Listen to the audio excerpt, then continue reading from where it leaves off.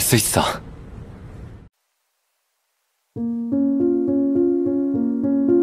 네, 안녕하세요, 여러분. 시를 읽어주는 남자의 정초로입니다.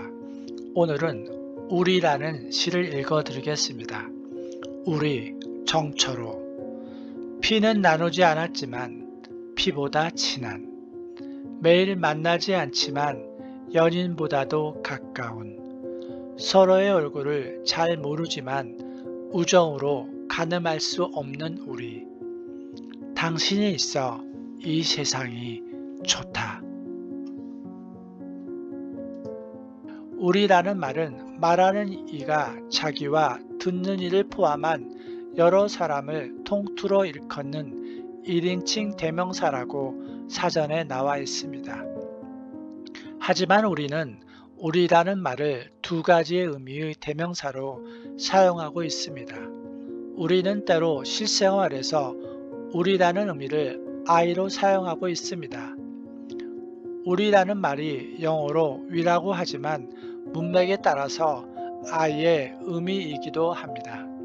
한 해로 우리 집이라는 말은 영어로 my house입니다. 물론 our house일 수도 있습니다. 우리의 납친말로 저희라는 말이 있습니다.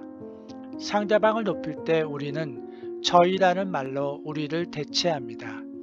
우리가 위이든 아이이든 그 의미보다 우리라는 말을 들으면 우리는 친밀감을 느낍니다. 우리라는 말은 또한 울타리의 방언이기도 합니다. 어찌 보면 우리는 우리 안에 있는 사람을 뜻하는 것 같습니다. 뭔가 동질감이 느껴지고 친밀감이 가슴에 들이치는 단어입니다. 사람이 살면서 수많은 사람을 만납니다. 그 중에 가장 가까운 사람은 친구입니다.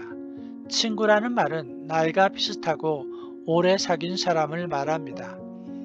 자라온 환경이 비슷하고 같은 학교를 다닌다면 그만큼 친구가 될 확률이 높습니다.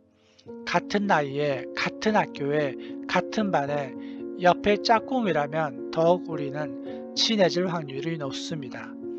그런 인연 가운데 동기라면 좀 더 가까워질 수 있는 분위기가 만들어집니다. 특히 생과 사를 넘나드는 전쟁터라면 더욱 그 의미가 진해질 것입니다. 나이를 먹으면서 점점 사람들과의 관계가 소홀해지는 것 같습니다. 아마도 나이를 먹으면서 겁이 많아지는 이유일 것입니다. 세월에 몽돌이 되어야 하는데 자꾸 뭐가 나는 것 같습니다. 그래도 눈을 감고 생각해 보면 힘들었을 때 옆에서 같이 웃고 울던 동기의 모습이 떠오릅니다. 그런 동기는 그냥 좋습니다.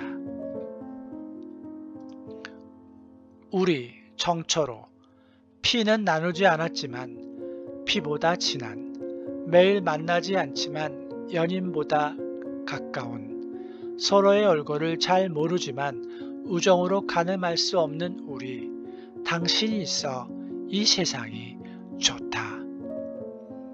네, 오늘은 우리라는 시를 읽어드렸습니다.